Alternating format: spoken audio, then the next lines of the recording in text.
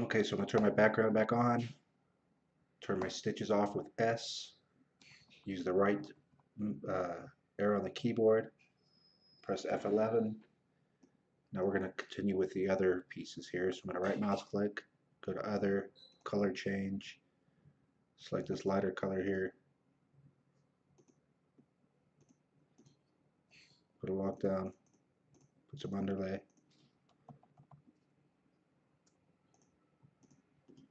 column, three point column, start. Press 2 on the keyboard so it does an arc column.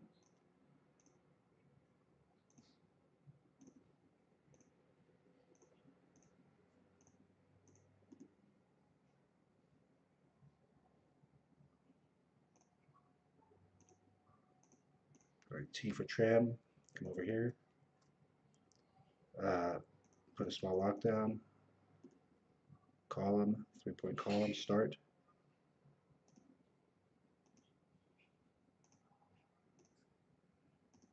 Put a lockdown. I'm just going to walk right over there because it's so close. I don't want to waste time on the trim.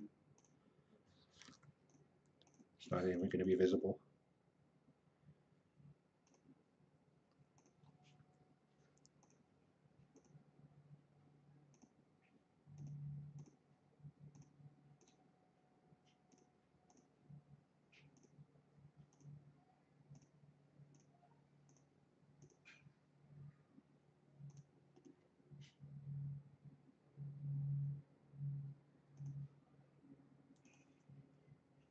Alright, we'll do lockdown, trim, lockdown again, put some points.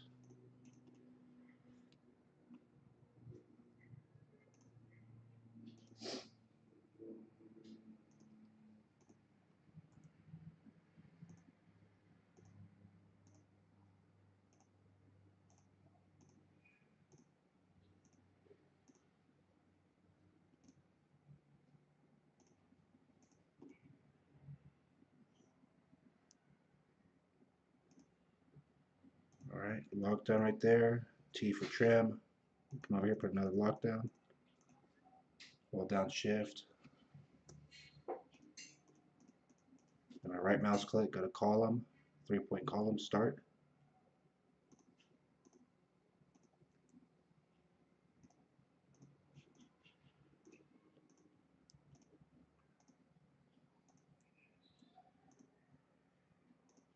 Okay, press escape and press E for edit.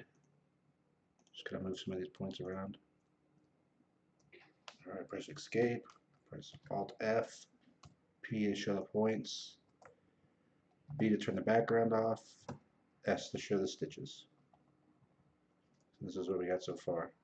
This is what it looks like when you zoom up, but it's probably going to be about this big on embroidery.